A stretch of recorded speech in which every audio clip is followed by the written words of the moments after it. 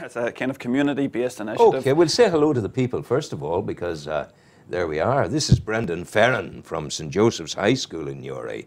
Uh, and uh, you're very, very welcome. Thank you, Rowan. You're a Camla man. I am. We're originally from Camlan. We're kind of outreaching as far as we can with the Fern connections, so we are. So I got me. I went to Camlough 50 odd years ago to find myself a beautiful woman, and we fell in love, and we were together for 46 years in marriage, and now we're together in, for five years in a kind of friendship. Oh, well, that's very I might propose to her again. If it ain't Cam- broke, don't fix Cam, it. Ca- Camla women are worth it. I Oh, think. they are, sure, Without- they without may. a Better doubt. give themselves Now, you teach religion and citizenship I at do the indeed, school. Rowan, yes. Right. Uh, is there any religion about nowadays at all, or what? How are people? How are youngsters uh, d- dovetailing Mm-hmm. into it? Are they interested? Are they? Are you teaching them things by rote, uh, or is there a wee bit of intelligence and thinking coming Yeah. into it? Well, it'll be more so the experiential element of things, Rowan, that they, of course we, we cover the wide spectrum of religious experience, but it's, it's very personalised, individualised, particularly from the pupils' perspectives themselves. And How does that shake down in terms of what the pupil gets and what the pupil gives? Well, there's obviously the curriculum that we follow up at St Joseph's, as with all the schools, but particularly with St Joseph's, it's a very kind of pupil-based school, and we're, we're focusing on the needs and the interests and the capabilities of the mm. individual. So, the old cliches of a pupil-centred education, that there's Yeah. the forefront of our our integrity at St Joseph's, and to make it as personal and as mm. meaningful as possible. And from that, their unique experience and their background and their understanding, mm. their capabilities, everything, as you suggested, dovetails through their own awareness. Young person asked me recently, he was doing a project out of SRC, and he had, a, he had a questionnaire for me. Mm-hmm. Yeah. And he said, the questionnaire said, he was doing a photograph with it, and he, I'm regarded as being old and wise now. Old, yes, but we leave the other for a while. But he said, well, if you had to give advice to a young people nowadays, what would you tell a young person? What would you advise? Yes. And my advice was, challenge, Yeah. seek the meaning of life. Mm-hmm. Does that sit easily with your philosophy and Joe's? Uh, Certainly, because what we, we constantly encourage the pupils to do is always ask, question away. Don't just automatically assume or take for granted because somebody else says it. Find a deeper meaning, understand it, but at the same time take ownership of it. Because if somebody just expects you to rote learn, that defeats the purpose of a, of a a pointful education itself.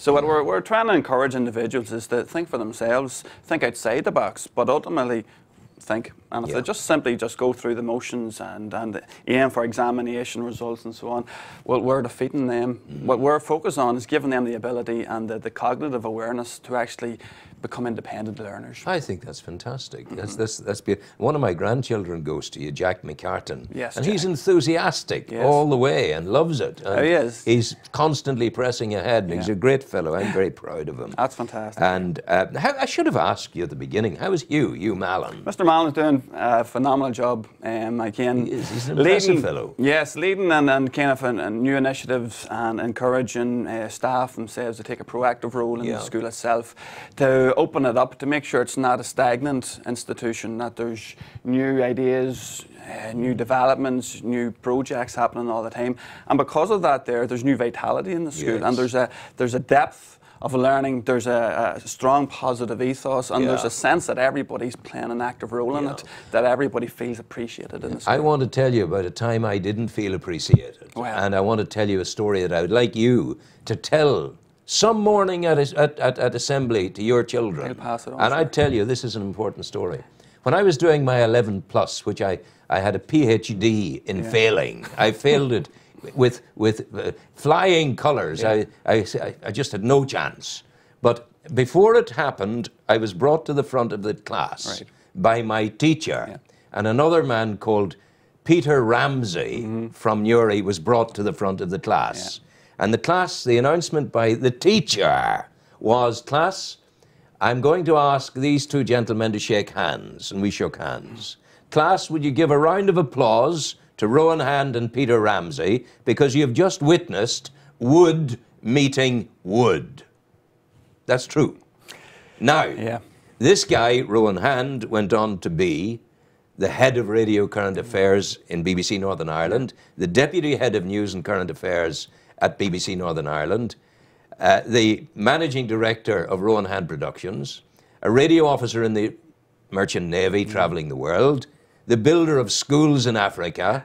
And Peter Ramsey went on to be one of the top men in one of the great oil companies yeah. of the world. So when your children are quaking with fear of not doing well, you please tell them that story. Well, that's, that's a fantastic uh, story to, to, to, represent simply not pigeonholing people and, yeah. expectations yeah. because Let the, the reality is at its own pace. That's, that's, and that's true, and that's, that's a fantastic. You're reaching out to the community at the moment in a new project. What's that all about? Well, we're doing it for this last year, Rowan. We've set up um, through the community associations around Newry. All the nine community associations have uh, instigated a community-based sports redevelopment program.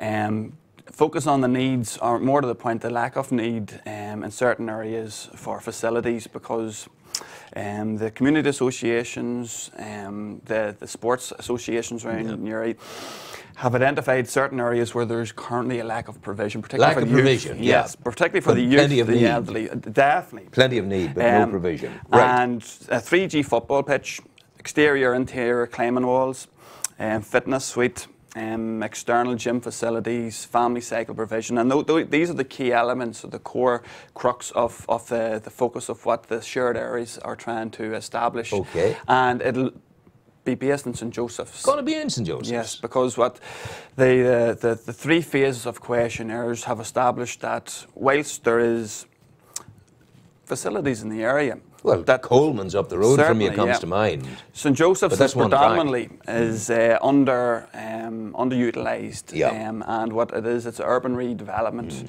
And where will you build this?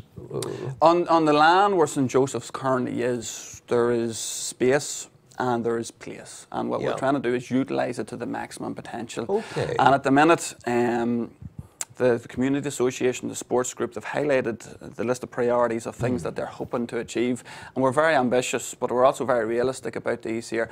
Because what's simply happening is that there is a great demand for these facilities. Mm. And with the Shared Areas uh, Project Committee spearheading this year, we're making substantial gains and growth in community collaborative mm. approach to this here. Okay. And also focusing on trying to get uh, financial support to get these facilities here. How far how far away are we from opening day, so to speak? Well, the last year was trying to um, ensure that the, the a collective um, ownership has been established, and that mm. there has proved significant in, in, the constant development of the project. Okay, so, so collective ownership of what? Of, of the, the shared areas facilities. What, what's happening is the, the facilities themselves, although they're going to be based at St Joseph's, St Joseph's is permitting the, the, the, area to be used uh, yeah. for community and it's community ownership. Yeah. And how that's going to work, Ron, is that these facilities are going to be governed by community representatives yeah. and run by the community associations and the sports groups. And what, what's simply happening is that to try to reward and encourage youngsters in particular to have an active role in, in society and the community. There's okay. going to be a rewards program for people who are involved in the likes of litter picking, yeah, yeah. with the elderly, mm. community-based initiatives, yeah. that they're going to be provided free of charge to encourage and to reward good okay. practices. I was, it kind of leads me, what's in it? Okay, the, the children will learn by a process of osmosis, Certainly, if you like, and proximity mm -hmm. to, to the, the community. Mm -hmm. But what fundamentally, what's in this for St. Joe's? Well, to be honest, St. Joseph's has taken a very um, proactive role in promoting it, but it's basically a community-based initiative. St Joseph's supporting it and developing it, but the, the core fundamental benefits will be community-based. Yeah. St Joseph's is obviously going to um, develop uh, health and fitness uh, facilities for, for pupil development and also uh, sports leadership courses. So there's an academic yeah. as well as a physical benefit okay. that there. But also particularly Banjo Bannon, who's championing the cause, um, is very keen to ensure that the likes of the climbing walls oh, help yes. develop individual uh, leadership qualities, mm kind of uh, cognitive thinking skills and so on like that there. So it's, it's to try to encourage health and fitness promotion, but also at the same time develop uh, individual qualities okay. and traits as well as So the, the, the, groundwork has been done, you've Sir. identified the need, and you've identified the means of meeting that need mm -hmm. within your campus area. Certainly. What's the timescale? We are hopefully, and we're, we're very confident within the next academic school year that uh, this time next year, not only will be sufficient funding uh, established, but the, the phased process of, of getting these uh, facilities constructed. So this time next year, we are very keen to make sure that the, um, the phased process in, involving strategic planning is going to be implemented. So, for example, the local soccer clubs are very adamant that the, the, the primary focal point will be the 3G football pitch. Yes. So it'll be high on the, the, the, the our concerns to get that established as soon Because as possible. Because still with soccer, for goodness sake, we have Karen Bain and nothing else, and that's been the same as we've had Mm-hmm. For years upon years upon years. And- Andrew said you have some images that you want us to see. Is yeah, that right? if Andrew's able to If you can whack those to us. Andrew, then we can talk about the images. Now, what's this we're seeing? This first one, Rowan, this is a, a flyer that's been distributed through the local community groups and the community associations, and it's to try to just give a bit more awareness about the, the project's intentions as well as the, Okay. the vision that we're having, uh, highlighting the climbing walls, the family cycle provision, Yes, the 3G the football, pitch, yeah. and within that there are text there itself. It's very clear to kind of encourage as much community participation as possible. Okay. Andrew, have we another there, please? Now, this is taking the same information process a wee stage further. Again, this is the reverse of the flyers, kind of highlighting the external gym equipment and the internal, Yes. particularly the likes of the external one. What we're, we're keen to do, Rowan, is ensure that the facilities are provided with Mm. either free costing so that the public don't actually have to pay for Wow. this here, or at a reduced price just to cover the likes of maintenance costs. So this Yes. is something that's uh, relatively substantial in the area to maximise the community participation. Right, what else, Andrew, have we got? Ah, that's nice. That's a community association. It. Proudly This is- this support is- shared areas. Yeah, it's Lennon Hall. This is one of How the, the nine who have Yeah. uh, backed the, the initiative from the very start. And it's to try to represent the, the, the collaborative approach to this here, that it is widespread, it is community based, and it is for the benefit of the, the wider community itself. And it's not insular in a certain zone of the town. No, no, It is no. community-wide for as many people as possible. Okay, Andrew? Ah, that's the bike scheme. It is indeed, and this is highlighting the likes of St Mary's as one of the, the many local schools who are helping to champion the cause as well. They've been very keen to promote it um, through the pupil awareness. It's almost a sister school, isn't Well, it? we- we've, we've had a very strong partnership over the many years, particularly through um, cross um, inter-school initiatives and the extended schools program that I'm helping um, to, to organise. And it's just to maximise the impact that the collaborative approach can, can, do. benefit. Well, I can tell you for a start, the, Mm-hmm. the, the collaborative approach with St Mary's. Now, I know you do your own things, Mm-hmm. but St Mary's is the partner school o- under the uh, under the British Council Mm-hmm. scheme, uh, international curriculum scheme, to my schools in Africa. Brilliant. And they're twin schools. Yes. And the headmistress of our African schools, Mm-hmm. the African woman, has been for the first time ever out of Africa to Newry. Yeah. And Morris from St Mary's, he's been out to Africa. Fantastic. And he and I travelled in the bush of northern Nigeria, and we had, we had a very, very uh, educative time there indeed. So yes, that's sort of you've, you're in association with a great school, two great schools together. Two, two of many, Ron, to be honest. Yeah. There's a widespread um, support um, from, from the, the local schools. Um, Our Lady's Sacred Heart, St Paul's Yeah. in particular, have been championing this year, just to, to represent the fact that it is not based in a particular area. We're trying to maximise the potential that we, we, we can have. And is there anything people out there viewing at the moment can do to underpin your efforts and maybe help them? There, there's several things, Ron. We're currently through the Facebook page, facebook.com forward slash shared areas. Shared areas on Facebook. Yeah, there is a list of um, businesses, educational establishments, um, sports groups that have already um, signed up to promote the cause, and that's growing extensively all the time. So if people want more information, particularly with the flyers and other posters, that's available there. And again, with the financial element of it, if any local businesses are keen to support the uh, the, the project itself. Okay. My details are through the Facebook page as well, or even St Joseph's. St um, Joseph's. What's the what's your e- what's your email at St Joseph's? My one is B Fearon. But, but, but yeah, or should we give them the? Should we just give them the website? Well, St Joseph's is simply stjosephsnewry.com. St Joseph's. No, any apostrophes? No, it's there? all one word. So it is Uh, all one word. through. St josephsnewry.com.